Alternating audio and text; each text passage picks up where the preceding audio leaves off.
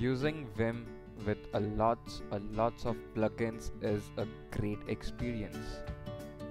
But if you are wondering how you can install those magical plugins without using any plugin manager, this is the right video for you. Hi, my name is Aditya Jain and I'm going to tell you step by step how you can install any Vim plugin on your system without using any plugin manager.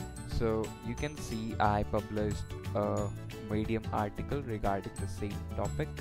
You can refer this article by using the link in the description box. So let me open my terminal, Control Alt T.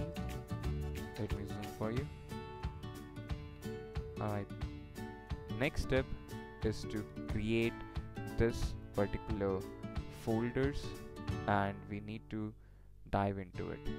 So for that I have written a very nice command. Just need to copy it and paste in your terminal. Hit enter and it will create .vim pack aducators start all these folders in one single command as well as it will take you to this directory and now my current directory is this awesome so now continuing further you need git installed in your system. If you write git and hit enter your terminal might say command git not found but can be installed using sudo apt install git. So we are going to do the same. We will say sudo apt update first. And then we will say sudo apt install git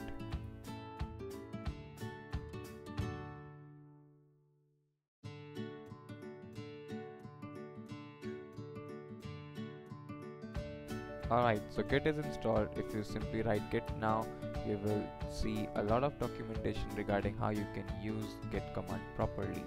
Now next step is to clone any repository any plugin repository to your system. And this is very very simple. If you simply go to any github website like this so actually the cloning directory is a nerd tree repository on github you just need to go to the repository page. Here you will find a green button saying code. Click on this. And here you will find a nice url copy it. That's all. You just need to go to your terminal and say git clone and url so this is just an example. Nerdtree is very famous for vim enthusiast so i'm showing you the same. Hit enter and it will start cloning your nerd tree. And that's all. Yes that's all you need. This nerdtree plugin is installed in your vim. Just to verify everything write vim hit enter and here you can use whatever the commands uh, that repository offers. For example nerdtree say if you. Write nerdtree it will open a nice tree here. Here you will find all the nice directories and files whatever you have in your system. So I can use them by using my keyboard only. If you want to quit it say colon q it will close the nerd tree if you want to quit vim q bang and yeah we are back on the terminal so uh, everything I show you in this tutorial you have everything with screenshots on my medium article.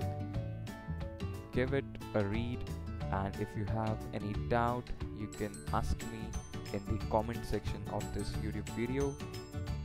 That's all for today. I hope this video helped you if it did give this video a like subscribe to aducators and share with your friends